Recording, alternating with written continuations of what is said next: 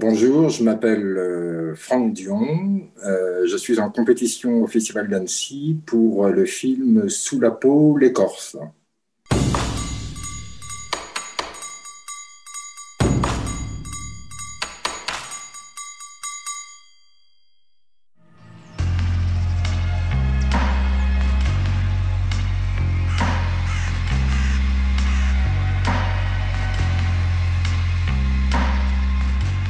Genèse du film, euh, c'est la conjonction de plusieurs euh, histoires. La première, c'est celle d'un confinement qui surprend tout le monde. Moi, le confinement, j'en ai l'habitude depuis une trentaine d'années, puisque je travaille euh, chez moi en tant qu'artiste indépendant. La deuxième, c'est que j'avais fait la rencontre d'un artiste qui faisait partie d'un groupe, qui fait toujours d'ailleurs partie d'un groupe, Gaël Loison, et sa formation, les Del Cooper Quartet, et j'ai eu un coup de cœur pour euh, leur univers musical qui euh, m'a évoqué beaucoup, beaucoup d'images. Et je leur avais proposé de euh, réaliser un film musical sur l'une de leurs musiques. La troisième raison, c'est que je voulais refaire un film, malgré le fait que je travaillais, et je travaille toujours sur le, mon long métrage, mais je voulais refaire un film de manière très spontanée, parce que le film que j'avais fait précédemment ne me plaît pas. J'estime que c'est un film raté. Et j'avais besoin de régler deux, trois comptes avec une grave dépression que j'ai faite il y a deux ans. Donc voilà, tout ça s'était réuni en une espèce d'énergie qui ne demandait, qu'à être dépensée. Et j'ai sauté sur l'occasion avec ce confinement en mettant entre parenthèses le long métrage et en me consacrant pendant dix mois au film.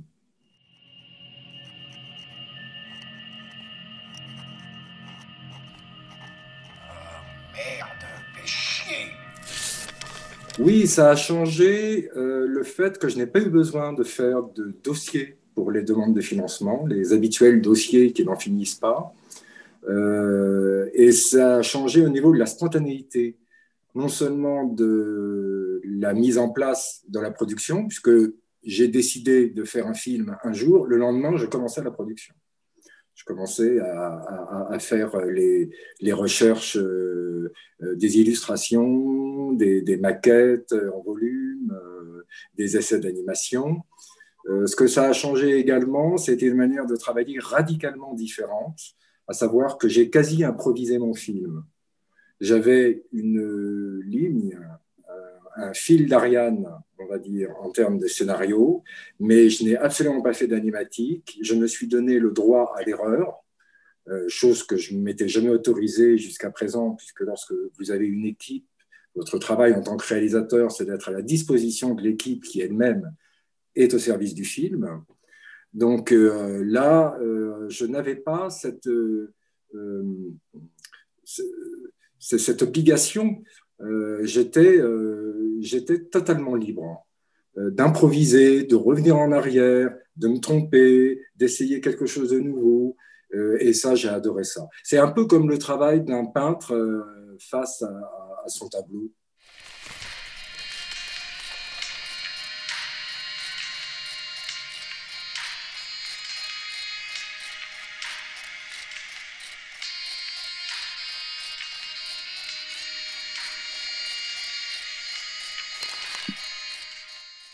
La stop motion, euh, elle fait partie d'un bouquet de techniques différentes euh, parce que je voulais qu'il y ait une prise avec euh, le réel, le palpable dans le film, parce que l'univers de la stop motion, c'est celui d'un artiste qui est représenté sous la forme d'un personnage creux, en écorce, vide, et le personnage qui le visite, c'est le personnage que cet artiste en question, pardon, dessine.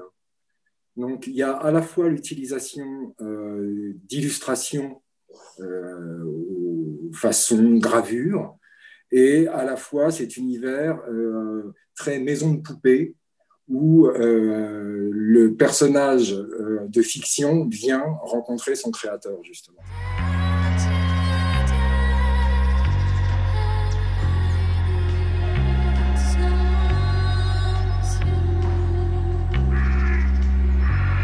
Fait, les musiques préexistaient. J'ai demandé à Gaël Loison, toujours, du groupe de me faire parvenir des notes de sa composition qu'il a mis comme en suspension. Je souhaitais qu'il y ait des notes en suspension, notamment dans l'atelier, une espèce de son propre à l'atelier, un son organique. Et c'est lui qui s'est occupé de, à partir des sons existants, de les transformer, de les manipuler et de les remixer avec sa propre musique. Voilà. Et sinon, le sound design euh, et les bruitages euh, d'une manière plus générale, bah, c'est moi qui, qui les fais aussi.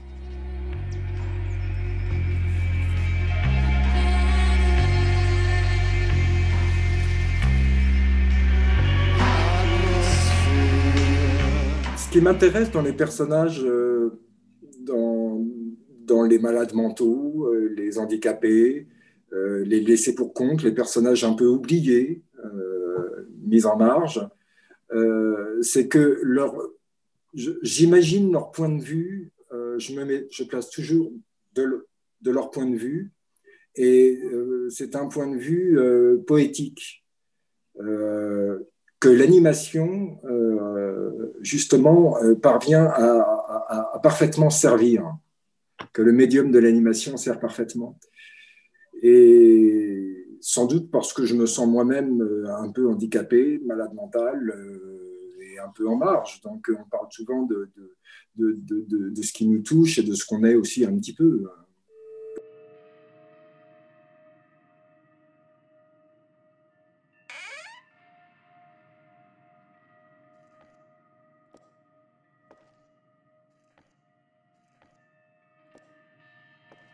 Il y a beaucoup d'éléments autobiographiques. On peut même parler d'une mise en abîme, puisque ce film fait suite, euh, comme je le disais tout à l'heure, à une grave dépression que j'ai faite il, y a deux ans, euh, qui était un épisode extrêmement douloureux. Enfin, bon.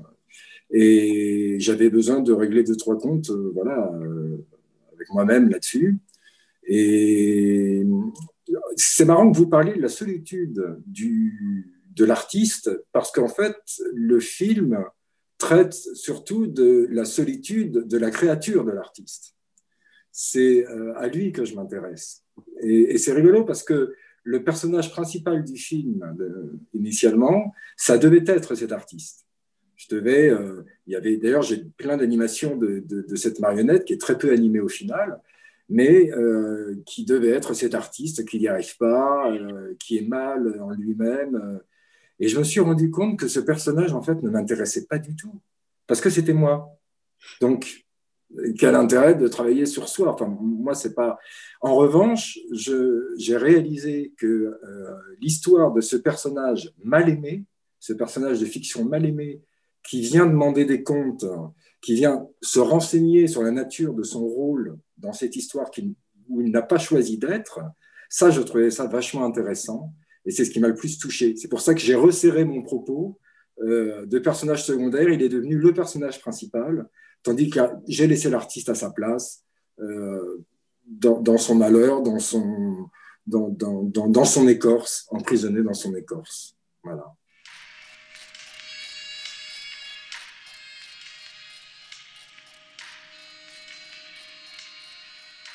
Il y a Ralph Bakshi qui a fait American Pop, euh, que j'avais vu à sa sortie au cinéma en 1980 ou 81, je ne sais plus. J'ai le souvenir ému et plein de mélancolie de, de, Bernard et Bianca de Disney que j'ai découvert lorsque j'avais 7 ans au cinéma à sa sortie en 77.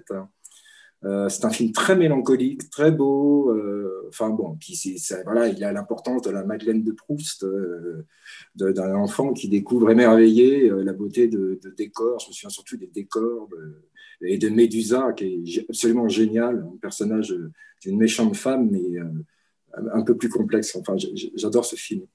Sinon, euh, moi, je vais plus, je tends plus vers le cinéma euh, live action, comme je le disais, avec beaucoup d'admiration pour le cinéma américain des années 70. Sidney Lumet, Cassavetes, Sidney Pollack, Polanski, Milos Forman, enfin bref, tout ça. Le cinéma français avec Bertrand Tavernier qui vient de nous quitter. Et ça, c'est surtout dans le cinéma euh, que, je trouve, que j'ai trouvé euh, mon inspiration euh, et là où j'ai appris aussi mon métier, puisque je n'ai pas fait d'école, ni de cinéma d'animation, ni de cinéma tout court.